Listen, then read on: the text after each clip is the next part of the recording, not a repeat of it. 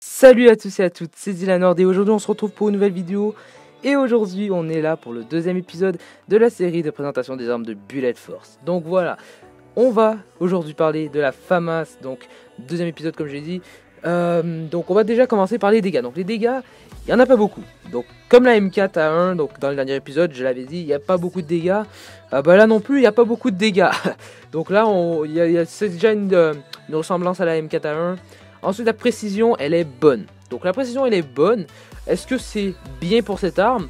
On verra ça après. Le tir au jugé est très bon, oui, et je l'ai testé vraiment. Pas besoin vraiment d'avoir euh, un laser sight pour que le tir au jugé soit perfect. Vraiment, le tir au jugé est très bon. Et donc, la stabilité et la portée, ultra bonne. Elle est ultra bonne. Il n'y a presque aucun recul, ça veut dire, sur l'arme. Et c'est vraiment ça que je veux parler après. Et la cadence de tir est de 1000 RPM. Donc, cette arme tire ultra rapidement. Sa cadence de tir est très très élevée.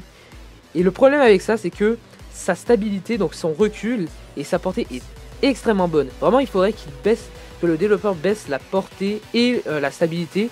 Parce que une FAMAS, c'est fait pour avoir beaucoup de recul. Ça tire ultra rapidement, mais c'est fait pour avoir beaucoup de recul. Et là, le problème, c'est qu'il n'y a presque aucun recul. Ce qui fait que l'arme est assez cheatée. Et oui, on l'a vu beaucoup, beaucoup, je l'ai vu beaucoup de fois euh, vraiment dans le multijoueur. hein, parce que là, le jeu est sorti, il y a des noobs qui viennent d'arriver, les gens viennent d'arriver. Et donc, ils vont acheter ça comme première arme. Ils vont voir que elle est ultra cheatée et tout le monde va l'utiliser. Et donc, vraiment, c'est une arme, c'est une des, une des meilleures armes qui coûte le moins cher. Vraiment. Euh, elle coûte vraiment pas cher, je sais plus combien elle coûte. euh, mais elle coûte vraiment pas cher. Et elle est ultra puissante. Donc, c'est une arme vraiment que j'aime pas trop que j'aime pas trop et que j'utilise pas vraiment trop non plus. C'est juste que cette arme, vraiment, elle fait, elle, a tellement de puissance en elle et elle est, vraiment cheatée. Donc il faudrait vraiment qu'ils qu'ils mettent plus de recul sur l'arme parce qu'elle est trop facile à contrôler et c'est ça qui la rend vraiment cheatée aussi. Et donc voilà, les atouts que j'ai mis euh, sur l'arme, voilà. Euh, et ben j'ai mis Optimize, donc euh, qui permet de recharger plus vite. J'ai mis Super Strafe, donc Super Strafe qui lui, c'est comme une crosse, donc j'en avais parlé dans le dernier épisode. C'est comme une crosse, ça fait la même chose que la crosse, donc ça te permet de bouger plus vite en visant. Et donc j'ai mis Rapid Draw, donc Rapid Draw qui permet de viser plus vite. J'ai mis aussi euh, Extended, donc pour avoir plus de munitions. Donc un des problèmes avec cette arme, c'est que elle a pas beaucoup de munitions. Elle, a une cadence de tir ultra élevée, donc les balles partent vite. Elle a vraiment pas beaucoup de munitions, donc ce qui fait que ah ben euh, ça va ça va il va falloir recharger beaucoup. C'est aussi pour ça que j'ai mis euh, optimize pour recharger plus vite. Donc là parce qu'on va recharger beaucoup.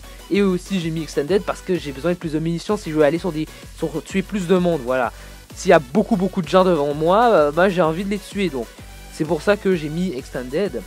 Et donc j'ai mis le viseur RDS euh, comme d'habitude. J'ai mis le muzzle break euh, parce que je le mets normalement sur tous les fusils d'assaut. Et donc euh, parce que aussi la portée est améliorée. Et j'ai mis le laser sight pour avoir un meilleur tir au jugé. hein. Et donc voilà, ça c'est tout ce que j'ai mis euh, comme attachement parce que c'est en même temps tout ce que tu peux mettre. Sinon tu pourrais mettre le silencieux, tu pourrais mettre plein de choses. Mais vraiment cette arme est ultra cheatée, il faudrait vraiment qu'elle soit patchée euh, dans une mise à jour. Ça serait vraiment vraiment génial si ça arrivait. Et donc voilà, j'espère que vous avez aimé la vidéo. N'oubliez pas de mettre un like à la vidéo si vous l'avez aimé et aussi de vous abonner à ma chaîne pour avoir plus d'épisodes sur cette série, pour avoir plus d'informations sur Bullet Force, Modern Combat Versus, Modern Combat 5, Forward Assault et aussi Call of Duty Infinite Warfare, Call of Duty Black Ops 3 et Call of Duty 4 remasterisé. Et moi je vous dis à la prochaine. Allez, ciao